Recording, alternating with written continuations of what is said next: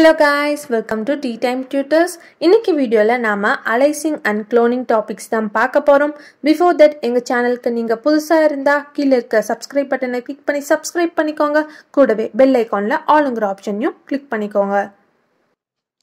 Aliasing அலைசிங்னா என்னன்னா இப்போ ஒரு வேரியபிள் இருக்கு.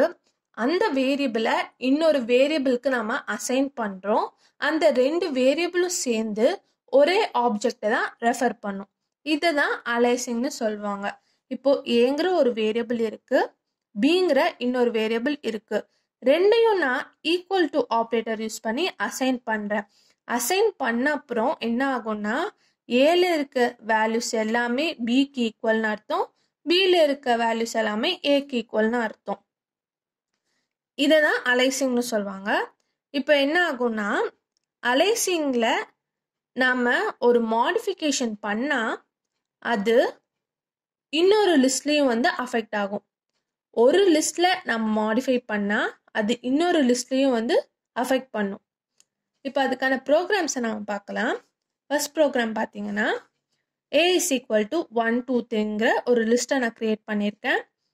B is equal to A பிங்கிற ஒரு புது வேரியபிளை நான் க்ரியேட் பண்ணியிருக்கேன். அது ஏக்கு வந்து நான் அசைன் பண்ணுறேன் இப்போது ஏங்கிற லிஸ்ட் எப்படி இருக்கும்? பிங்கிற லிஸ்ட் எப்படி இருக்கும்? நம்ம பிரிண்ட் பண்ணி பார்க்க போகிறோம் அவுட்புட் பார்த்தீங்கன்னா ஏ வந்து ஒன் டூ த்ரீ வேற பியும் வந்து ஒன் டூ த்ரீ ஏன்னா பிங்கிற லிஸ்ட் வந்து ஏக்கு வந்து அசைன் ஆகியாச்சு. இப்போது மாடிஃபை பண்ணி பார்க்கலாம். அதாவது லிஸ்ட்டில் ஏதாவது சேஞ்சஸ் கொடுத்து பார்க்கலாம். இதுதான் second program A equal one two three same அதே லிஸ்ட் பி சீக்வல் டே இப்போ அசைன் ஆகியாச்சு. நெக்ஸ்ட் வந்து இப்போ பிஃபோர் சேஞ்சஸ் அதாவது சேஞ்சஸ் நடக்கிறதுக்கு முன்னாடி நம்மளோட லிஸ்ட் எப்படி இருக்கும்ன்ட்டு இது பிரிண்ட் பண்ணும். A is A B is பினா ஏங்கிற இடத்துல லிஸ்ட் நம்மளோட லிஸ்ட் வரும். பிங்கிற இடத்துல பி லிஸ்ட் வரும். அடுத்தது இப்போ நம்ம சேஞ்சஸை ஸ்டார்ட் பண்ண போகிறோம் B of two is equal to nine இப்போ A is equal to one two த்ரீன்னு இருக்கு. பி இஸ் ஈக்குவல் டு ஏங்கிற போது பியோட வேல்யூ நமக்கு ஒன் டூ த்ரீன்னு வந்து சேஞ்ச் ஆகிடும்.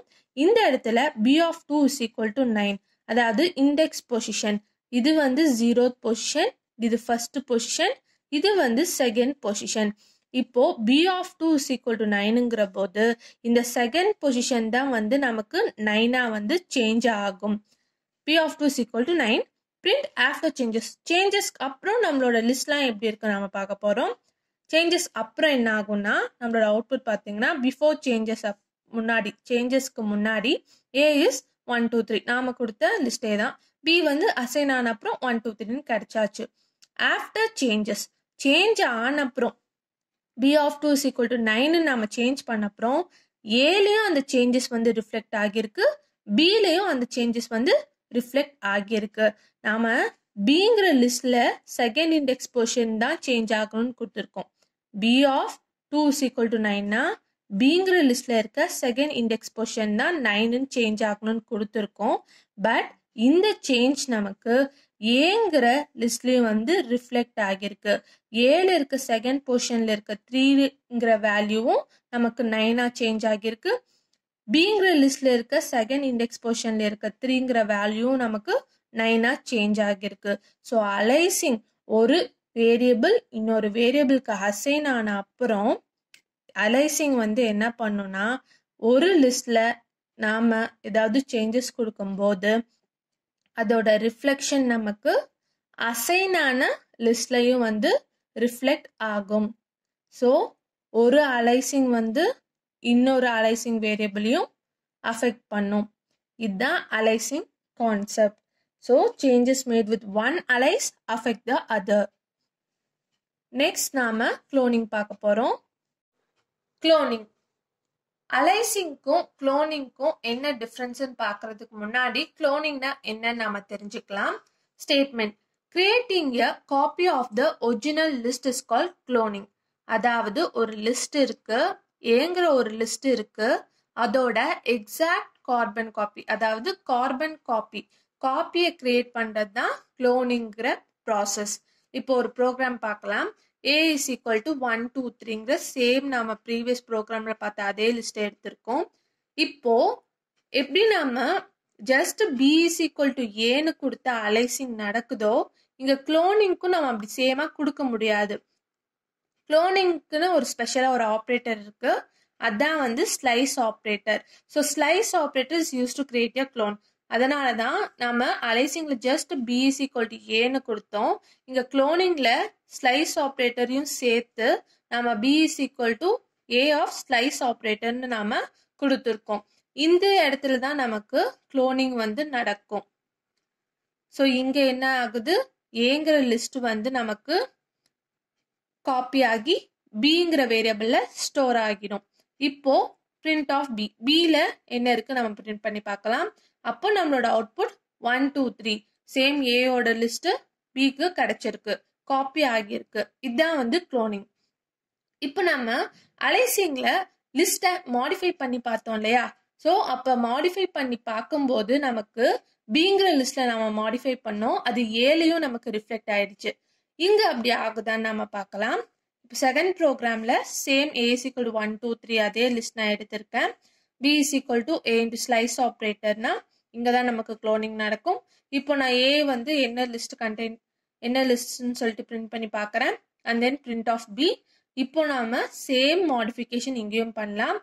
பி ஆஃப் டூ இப்போ A is equal to one two three B is equal to இந்த மாதிரி நம்ம க்ளோனிங் ப்ராசஸ் நடக்கும்போது இந்த இடத்துல நமக்கு B is equal to one two த்ரீயாக தான் இருக்கும்.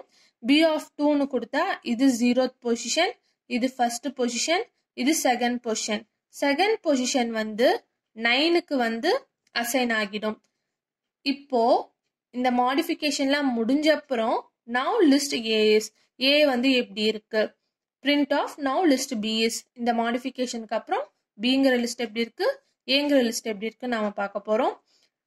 அவுட்புட் பார்த்தீங்கன்னா ஃபர்ஸ்ட் பிரிண்ட் ஆஃப் ஏக்கு நமக்கு இந்த one two three list print of பிக்கு ஒன் டூ த்ரீங்கிற லிஸ்ட் மாடிஃபிகேஷனுக்கு முன்னாடி. ஆஃப்டர் மாடிஃபிகேஷன் இந்த இடத்துல நம்ம மாடிஃபிகேஷன் கொடுத்துருக்கோம். லிஸ்ட்டில் மாடிஃபை ஆகணும்னு சொல்லிட்டு கொடுத்துருக்கோம். மாடிஃபிகேஷனுக்கு அப்புறம் இயங்குகிற லிஸ்ட்டில் எந்தவித சேஞ்சஸுமே இல்லாமல் சேம் ஒன் டூ த்ரீனே இருக்குது பிங்கிற இடத்துல தான் பிங்கிற லிஸ்ட்டில் தான் நம்ம சேஞ்சஸ் ஆகணும்னு கொடுத்துருக்கோம். இப்போ லிஸ்ட் பி பார்த்தீங்கன்னா ஒன் டூ நைன் இருக்குது செகண்ட் பொசிஷனில் நைனு நமக்கு சேஞ்ச் ஆகியிருக்கு.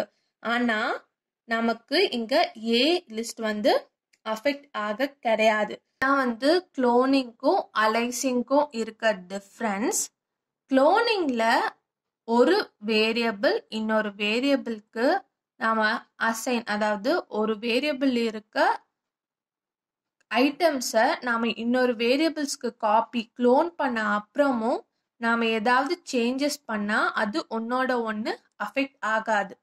வேறஸ் இங்கே அலைசிங்கில் பார்த்தீங்கன்னா நான் பிங்கிற லிஸ்டில் தான் வந்து சேஞ்சஸ் பண்ணேன். பட் அது ஏங்கிற லிஸ்ட்டையும் அஃபெக்ட் பண்ணியிருக்கு பட் குளோனிங்கில் நமக்கு அது நடக்கலை.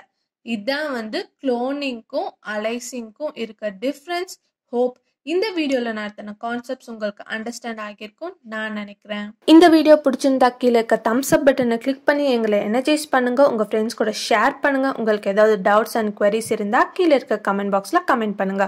For more updates follows on Facebook and Instagram thanks for வாட்சிங் keep on supporting us happy learning